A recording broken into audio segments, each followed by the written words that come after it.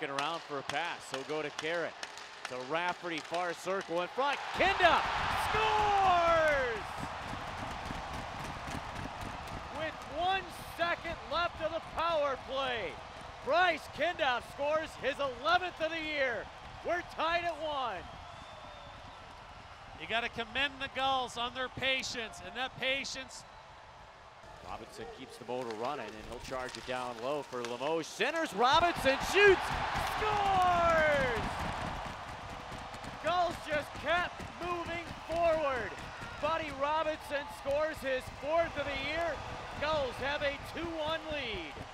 The good job in holding that puck and not throwing it blindly. And now the Gulls transition up. Elvenes shoots, deflected, and they score! Three to one San Elvenes gets credit with his 10th of the year.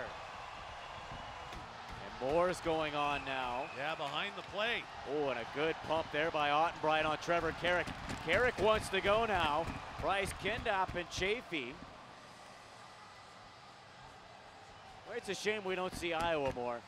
Yeah, and the problem is, Carrick's over there by himself with two Iowa players. We need some more Gulls players over there. They're sticking by the bench. I think they're doing that because the coaching staff wants them there, doesn't want them to get called over. Here's Miller from the point, And a shot by Addison gets blocked. Another chance for Miller. Save made by Dostal. So he'll be released from the box after the 10 minute mark and a whistle.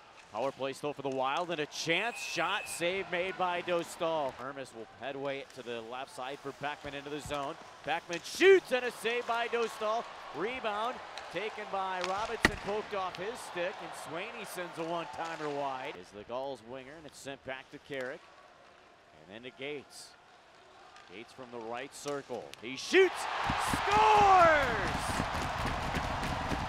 Gates continues his point streak, extends the Gulls lead 4 to 1, and he pots his 10th of the year.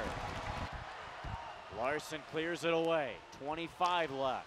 A pass broken up. O'Regan shoots, scores!